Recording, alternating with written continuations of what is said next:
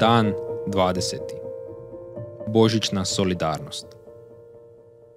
Sin se Boži pojavio zato da uništi đavolska dijela. Prva Ivanova 3.8 Sotonina pokretna traka svakodnevno proizvede milijune grijeha. Pakira ih u goleme teretne avione i odvozi u nebo kako bi ih razasuo pred Bogom i smijao se, i smijao, i smijao. Neki ljudi rade puno radno vrijeme na toj pokretnoj traci. Drugi su dali otkaz i vrate se samo ponekad. Svaka minuta rada na pokretnoj traci čini Boga sotoninim predmetom ismijavanja. Grijeh je sotonin posao jer on mrzi svjetlo, ljepotu, čistoću i slavu Božju. Ništa ga ne raduje više nego kad stvorenja nemaju povjerenja i neposlušna su svome stvoritelju. Stoga, Božić je dobra vijest za čovjeka i dobra vijest za Boga. Sigurna je riječ i zaslužuje punu vjeru.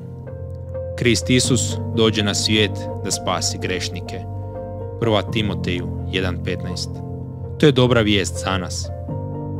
Sin se Boži pojavio zato da uništi đavolska dijela. Prva Ivanova 3.8 To je dobra vijest za Boga. Božić je dobra vijest za Boga jer je Isus došao da bi vodio bitku protiv Sotonine tvornice. Ušetao je izravno u tvornicu, pozvao na solidarnost vjerne i započeo masovni odlazak. Božić je poziv na štrajk u tvornici grijeha nema pregovora s upravom, nema pogađanja, samo jednoumna, nepokolebljiva opozicija proizvodu.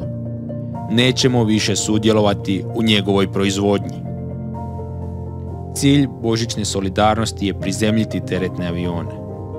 Ona neće koristiti silu ili nasilje, ali će neumoljivom odanošću istini razotkrivati uvjete đavolske industrije koja uništava život.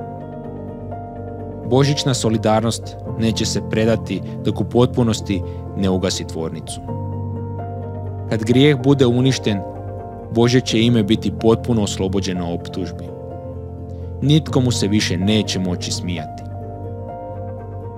Ako želite dati Bogu dar ovog Božića, iziđite iz tvornice i nemojte se nikad vraćati. Zauzmite svoje mjesto u liniji ljubavi. Pridružite se božićnoj solidarnosti dok se ne skine sva ljaga s veličanstvenog Božeg imena, kad će on slavno stati usred slavlja pravednih.